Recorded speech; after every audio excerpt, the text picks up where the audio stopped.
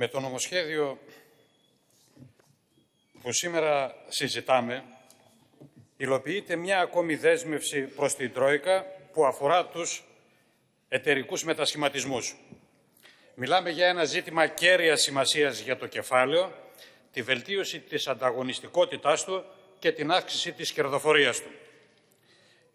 Γιατί είναι σημαντικό ζήτημα για τους επιχειρηματικούς ομίλους; Γιατί η ελληνική καπιταλιστική οικονομία, ανάμεσα στα άλλα διαρθρωτικά προβλήματα που αντιμετωπίζει, είναι και αυτό των πολύ μικρών επιχειρήσεων σε σχέση με άλλες χώρες της Ευρωπαϊκής Ένωσης, πράγμα που τις δυσκολεύει στον ανταγωνισμό που όλο και οξύνεται τα τελευταία χρόνια. Και τι έρχεται να λύσει το νομοσχέδιο για τις μεταμορφώσεις των επιχειρήσεων; Και μάλιστα πώς το κάνει αυτό; Καταρχήν θέλει να συμβάλλει ακόμη περισσότερο στο να υπάρξει μεγαλύτερη ευελιξία ώστε να μπορούν ευκολότερα οι επιχειρήσεις να συγχωνεύονται, να αλλάζουν μορφή, να αποσπώνται κλάδοι όλων των μορφών των εταιριών με σκοπό να προχωρήσει απρόσκοπτα η συγκέντρωση και η συγκεντροποίηση του κεφαλαίου, να μεγενθηθούν οι επιχειρήσεις για να μπορούν να σταθούν σε αυτό το ανταγωνιστικό περιβάλλον σε Ευρωπαϊκή Ένωση αλλά και παγκόσμια. Και αυτό το πρόβλημα έρχεται να λύσει η σημερινή κυβέρνηση με το νομοσχέδιο αυτό. Φτάνει από μόνο του αυτό το μέτρο για να ξεπεραστούν τα προβλήματα των επιχειρήσεων στον ανταγωνισμό που αντιμετωπίζουν για να αυξηθεί η κερδοφορία τους. Όχι βέβαια. Άλλωστε, η προώθηση των μετασχηματισμών δεν είναι ένα ξεκομμένο μέτρο, αλλά εντάσσεται σε μια γενικότερη προσπάθεια αναμόρφωσης όλου του εμπορικού δικαίου. Να θυμίσω ότι στο πρόσφατο παρελθόν η κυβέρνηση εξυγχρόνισε τους νόμους για τις ανώνυμες εταιρείες, τις εταιρείες περιορισμένης ευθύνης, απλοποίησε τις διαδικασίες ίδρυσης και επανίδρυσης των εταιριών, πήρε μέτρα για τη μείωση του κόστους λειτουργίας τους, τη γραφειοκρατία και άλλα σε αυτή την κατεύθυνση. Όπως πήρε μια σειρά μέτρα για την βελτίωση του επενδυτικού κλίματος. Τι να πρωτοθυμηθεί κανείς σε αυτή την κατεύθυνση; Την αλλαγή, για παράδειγμα, του αναπτυξιακού νόμου, το νέο νόμο για τις στρατηγικές επενδύσεις που έχουν έτοιμο στα συρτάρια τους, κτηματολόγιο, δασική χάρτες, χάραξη αιγιαλού, μεταφορά επιχειρήσεων από άτυπες συγκεντρώσεις σε οργανωμένες υποδομές. Και βέβαια μια σειρά, κυρίως αυτό, μια σειρά χρηματοδοτικά εργαλεία που βοηθούν τις επενδύσεις και την προσέλκυση κεφαλαίων. Θυμηθείτε το ΕΣΠΑ, πακέτο Juncker, αναπτυξιακή τράπεζα κτλ. Αν και όλα αυτά που έκανε η κυβέρνηση για λογαριασμό του κεφαλαίου δεν ήταν λίγα, δεν πρόκειται να σταματήσει εδώ. Θα ακολουθήσουν και ανάλογες νομοθετικές πρωτοβουλίες για το γεμί, τα επιμελητήρια και πάει λέγοντες. Όλα αυτά τα μέτρα και πολλά άλλα εκφράζουν ακριβώς τις απαιτήσεις του κεφαλαίου. Υπηρετούν το στόχο της καπιταλιστικής ανάκαμψης, πάνω στον οποίο εργάζεται και η σημερινή κυβέρνηση, νομοθετώντας μέτρα που θα δώσουν όθηση στην ανταγωνιστικότητα και την κερδοφορία των επιχειρηματικών ομήλων. Άρα, κατά τη γνώμη μας, τίποτα δεν γίνεται τυχαία. Υλοποιείται μια πολιτική που είναι συνεκτική και έχει ξεκάθαρο στόχο ακριβώς αυτό, την αύξηση της κερδοφορίας των επιχειρηματικών ομήλων. Γι' αυτό δουλεύει και η σημερινή κυβέρνηση. Όμως, αν υποθέσουμε ότι όλα αυτά τα θεσμικά εργαλεία θα λειτουργήσουν με τον πιο άψογο τρόπο, φτάνουν να προχωρήσουν απρόσκοπτα οι συγχωνεύσεις και η μεγένθηση των επιχειρήσεων. Κατά τη γνώμη μας, όχι. Πρώτον, για το άμεσο μέλλον υπάρχουν μια σειρά προαποφασισμένα μέτρα στη μεταμνημονιακή περίοδο, αναδιαρθρώσεις που πρέπει να υλοποιηθούν και θα υλοποιηθούν ανεξάρτητα από το ποιος θα είναι στην κυβέρνηση τα επόμενα χρόνια. Και δεύτερον, χρειάζονται και φορολογικά κίνητρα για να διευκολυνθούν οι συγχωνεύσεις και οι συνεργασίες των επιχειρήσεων. Και η κυβέρνηση εδώ είναι σε ετοιμότητα. Στην ακρόαση φορέων, για παράδειγμα, εκπρόσωποι των βιομηχάνων, του χρηματιστηρίου, του ΣΕΤΕ και άλλων, ζήτησαν να υπάρξουν νέα φορολογικά κίνητρα και μάλιστα να αναβληθεί για ένα μικρό χρονικό διάστημα η εφαρμογή του νομοσχεδίου μέχρι να γίνει η εναρμόνιση και του φορολογικού δικαίου στις ανάγκες των επιχειρήσεων. Και η κυβέρνηση δεν έχασε χρόνο. στην κατάρθρο συζήτηση στην Επιτροπή, δηλαδή στην αμέσως επόμενη συνεδρίαση της Επιτροπής, δήλωσε πανέτοιμη ότι μέσα σε δύο μήνες θα φέρει νέο φορολογικό νομοσχέδιο με κίνητρα που θα διευκολύνουν τις συγχωνεύσεις. Δηλαδή και άλλο τζάμπα χρήμα. Προφανώς, για να καταπολεμηθεί η, κρατη... η κρατικοδίαιτη επιχειρηματικότητα όπως μας ανέφερε ο εισηγητής του ΣΥΡΙΖΑ, ότι αποτελεί το πρόβλημα στην ανάπτυξη της οικονομίας. Ε, με λίγα λόγια, να, αυτό είναι το νέο μοντέλο ανάπτυξης του ΣΥΡΙΖΑ. Τέτοιου είδους μέτρα, τέτοιες αναδιαρθρώσεις, μας λέτε ότι βελτιώνουν την αξιοπιστία της χώρας. Αξιοπιστία της χώρας απέναντι σε ποιους; Μα απέναντι στις αγορές, απέναντι στο Διεθνές Νομισματικό Ταμείο, το ΝΑΤΟ, την Ευρωπαϊκή Ένωση, τους δανειστές.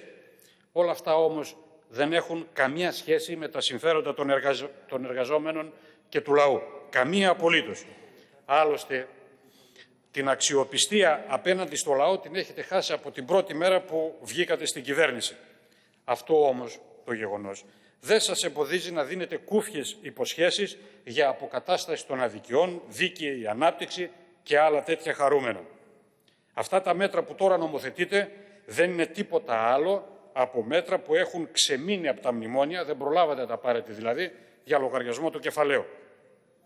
Για όλα αυτά τα ζητήματα, αυτής της συνεκτικής πολιτικής που ακολουθεί η κυβέρνηση ΣΥΡΙΖΑ, που υλοποιεί, τι λένε τα άλλα κόμματα της αντιπολίτευσης; Κύριε Βαρδαλή, ένα λεπτό.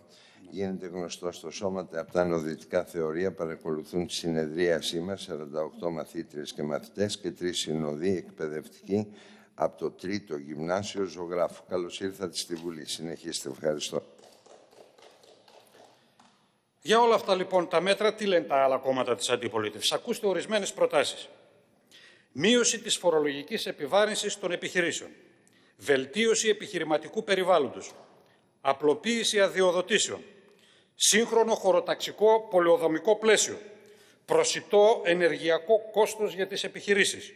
Περιορισμός του μεριδίου της αγοράς, ε, στην αγορά της ΔΕΗ ειδικά φορολογικά κίνητρα που θα κινητοποιήσουν ιδιωτικά κεφάλαια για την χρηματοδότηση, υποστήριξη των νεοφιών επιχειρήσεων. Να προχωρήσουν άμεσα οι συγχωνεύσεις, οι εξαγορές, οι συνεργασίες. Τώρα, απέναντι σε αυτές τις προτάσεις, αν κάποιος έκλεινε τα μάτια και άκουγε αυτές τις προτάσεις, θα μπορούσε άραγε να διακρίνει σε ποιανού κόμματος το πρόγραμμα υπάρχουν; Η απάντηση είναι πως όχι. Γιατί; Μα γιατί όλα τα παραπάνω υπάρχουν σε όλα τα προγράμματα όλων των κομμάτων και της κυβέρνησης και της αντιπολίτευσης. Και όχι μόνο συμφωνείτε με αυτά, αλλά ζητάτε από την κυβέρνηση να πάρει κι άλλα σε αυτή την κατεύθυνση. Για παράδειγμα, να μειωθεί κι άλλο η φορολογία του κεφαλαίου. Άλλωστε, όλα τα σχετικά νομοσχέδια που αφορούν τους επιχειρηματικούς ομίλους και προανέφερα, τις εταιρείες κάθε μορφής, τα έχετε ψηφίσει όλοι. Επομένως, το ιδεολόγημα που πλασάρεται τόσο από το ΣΥΡΙΖΑ όσο και από τη Νέα Δημοκρατία ότι υπάρχουν δύο κόσμοι που συγκρούονται, στην περίπτωση αυτή αποδεικνύεται πόσο κάλπικο είναι. Πρόοδος σε εισαγωγικά και συντήρηση, αλλά όταν πρόκειται για τα συμφέροντα του κεφαλαίου, στο τι πρέπει να, ε, να γίνει για να είναι ανταγωνιστικό, να αυγατίζει τα κέρδη του, τότε πάλι πάτε όλοι μαζί χέρι-χέρι. Θα βρίσκετε μια χαρά. Βεβαίως έχετε και διαφορές. Αλλά αυτές αφορούν το πώς αυτός ο στόχος θα υλοποιηθεί, με ποια μέτρα, ποιος είναι πιο ικανός να τα υλοποιήσει, άρα διαφορές σε δευτερεύοντα ζητήματα που μπορεί να έχουν και αυτά τη σημασία τους, αλλά δεν αλλάζουν την κατεύθυνση, το στόχο δηλαδή. Υποστηρίζεται ότι μέσα από αυτή την καπιταλιστική ανάπτυξη θα κερδίσουν και οι εργαζόμενοι. Όμως αυτή η διαδικασία συγκέντρωσης και συγκεντροποίησης του κεφαλαίου θα έχει τεράστιες κοινωνικές επιπτώσεις. Απ' τη μια θα συγκεντρώνονται όλο και περισσότερος πλούτος σε λιγότερα χέρια και απ' την άλλη θα αυξάνεται η σχετική και απόλυτη εξαθλίωση της εργατικής τάξης και των λαϊκών στρωμάτων. Από αυτήν την άποψη έχει ενδιαφέρον να δούμε κατά πόσο επηρεάζεται η θέση των εργαζόμενων ε, των μετασχηματιζόμενων εταιριών με αυτό το νομοσχέδιο. Στα άρθρα 12 και 64, για παράδειγμα, του νομοσχεδίου, που ορίζουν ότι, διαβάζω, βάζω εισαγωγικά, σε κάθε περίπτωση μετασχηματισμού που διέπεται από τον παρόντα, οι εργαζόμενοι προστατεύονται σύμφωνα με τις κείμενες διατάξεις και τη μεταβολή στο πρόσωπο του εργοδότη. Ποια ήταν η προστασία μέχρι τώρα από τις κείμενες διατάξεις που επικαλείται το νομοσχέδιο; Τι λέει μέχρι τώρα εμπειρία; Αυτή η διαδικασία των συγχωνεύσεων συνοδεύτηκε πάντα και συνοδεύεται με τη μείωση του συνολικού αριθμού των εργαζόμενων στις επιχειρήσεις που συγχωνεύονται και παράλληλα συνολικά στην οικονομία υπάρχει ξεκλήρισμα των αγροτών και ραγδαία μείωση των επαγγελματοβιοτεχνών. Με το άρθρο 57 του νομοσχεδίου που συζητάμε δίνεται η δυνατότητα απόσπασης κλάδου. Αυτές τις μέρες γίνεται συζήτηση, άλλωστε σήμερα περιμένουμε αύριο να κατατεθεί ε, από την κυβέρνηση, γίνεται συζήτηση μεταξύ της κυβέρνησης, των τραπεζιτών και των θεσμών σε εισαγωγικά, δήθεν για το πώς θα σώσουν την πρώτη κατοικία. Αλλά στην ουσία πώς θα απαλλαγούν οι τράπεζες από τα κόκκινα δάνεια. Για να γίνει αυτό, μεταξύ άλλων, προωθείται και η απόσχεση του κλάδου ή σταδιακά τμήματων του κλάδου των κόκκινων δανείων από τις τράπεζες και τη μεταβίβασή τους σε διάφορα φάνς.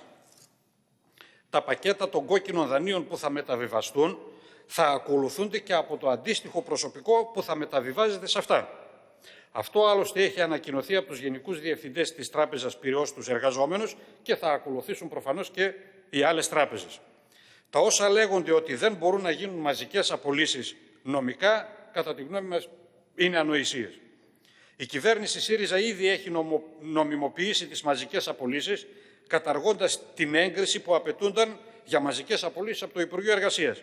Ενώ προδιετίας απόφαση του Ευρωπαϊκού Δικαστηρίου της νομιμοποιεί, βλέπε την υπόθεση με τα τσιμέντα Χαλκίδας. Μετά την πώληση των κόκκινων δανείων και τη σμίκρινση των συστημικών τραπεζών, ανοίγει και ο δρόμος για τη συγχώνευση ακόμη παραπέρα των τραπεζών. Εδώ και αρκετά χρόνια άλλωστε ακούγεται η θεωρία των δυόμιση τραπεζών. Τώρα οι εργαζόμενοι στις τράπεζες έχουν και εμπειρία. Στον τραπεζικό κλάδο, από την αρχή της καπιταλιστικής οικονομικής κρίσης, έγιναν μια σειρά συγχωνεύσεις εξαγορές με αποτέλεσμα να μείνουν οι τέσσερις συστημικές τράπεζες και οι εργαζόμενοι σε αυτές να έχουν μειωθεί από 68.000 που ήταν πριν την καπιταλιστική οικονομική κρίση σε 38.000. Η συμφωνημένη προοπτική είναι μέχρι το 2021 να φτάσουν τις 28.000, δηλαδή να μειωθούν και, άλλες, και, άλλο 10, και άλλες 10.000. Συνολικά δηλαδή στα τελευταία 10 χρόνια να έχουν μειωθεί οι εργαζόμενοι κατά 40.000. Αυτή είναι η πραγματικότητα, αυτό μας λέει η εμπειρία μέχρι τώρα για τα περί προστασίας των εργαζόμενων που κατά τη γνώμη μας αποτελούν μια μεγάλη κοροϊδία. Είναι λοιπόν αστείο να μιλάτε για εταιρικούς μετασχηματισμούς στους εργάτες, στους αγρότες, στους αυτοαπασχολούμενους, όταν στην πράξη αυτό που έχει αποδειχθεί πως η μόνη κερδισμένη από τη συγκέντρωση και συγκεντροποίηση είναι το κεφάλαιο. Είναι αστείο μάλιστα να μιλάτε όταν έχετε εξαντλήσει το λαό με τη φορολογία και τα διάφορα χαράτσια, τα πανωτόκια, προκειμένου να βρεθούν λεφτά ώστε το κράτος να μπορεί να παρέχει στις επιχειρήσεις που μετασχηματίζονται διάφορα φορολογικά κίνητρα. Για ποια δίθεν δίκαιη ανάπτυξη κάνετε λόγο; Η βαρβαρότητα που βιώνουν τα εργατικά λαϊκά στρώματα δεν μπορεί να βρει διέξοδο στο σημερινό σύστημα της εκμετάλλευσης. Αυτό δεν μπορεί να γίνει σε καμιά περίπτωση φιλολαϊκό. Απέναντι σε αυτή την κατάσταση είναι ανάγκη οι εργαζόμενοι να οργανώσουν τον αγώνα τους ενάντια στις απολύσεις, να παλέψουν για σύμβαση με γνώμονα τα δικά τους συμφέροντα και όχι αυτά των εργοδοτών, να συντονίσουν τη δράση τους με το σύνολο των εργαζομένων και των φτωχών λαϊκών στρωμάτων, να βάλουν τέλος σε αυτά τα αντιλαϊκά σχέδια των επιχειρηματικών ομήλων και των κυβερνήσεών τους. Για το δεύτερο μέρος του νομοσχεδίου, το ψηφιακό θεματολόγιο για την Ευρωπαϊκή Ένωση αποτελεί έναν από τους 7 πυλώνες της στρατηγικής Ευρώπη 2020, καθορίζει τους στόχους για την ανάπτυξη της Ευρωπαϊκής Ένωσης μέχρι το 2020 και αποτελεί κρίσιμο στοιχείο μιας ε, σύγχρονης Ευρωπαϊκής Ένωσης και κυρίως για την ανταγωνιστικότητα της οικονομίας της.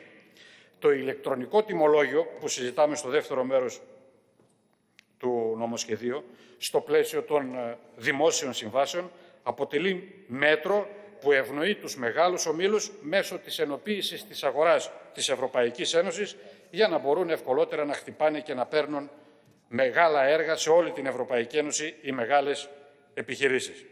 Απ' την άλλη, θα αυξηθεί το κόστος για τους αυτοαπασχολούμενους και τις μικρές επιχειρήσεις, που θα χρειαστούν κεφάλαια για την προσαρμογή τους στα νέα δεδομένα.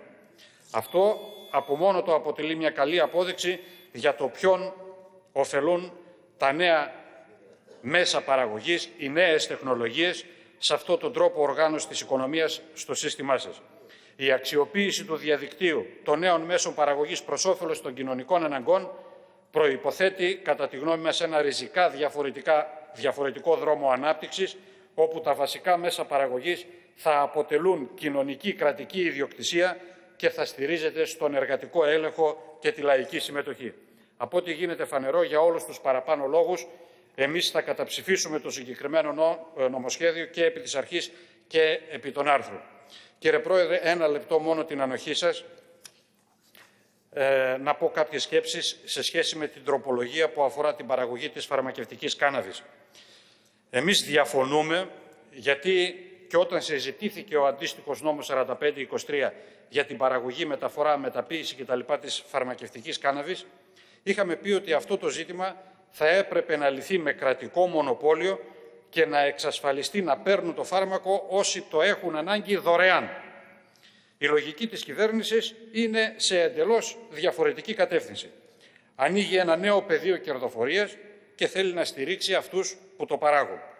Στηρίζει τους εμπόρους του πόνου, διευκολύνοντάς τους με την κατάργηση εμποδίων να μπορούν να την καλλιεργούν, για παράδειγμα, και σε γη υψηλής παραγωγικότητας.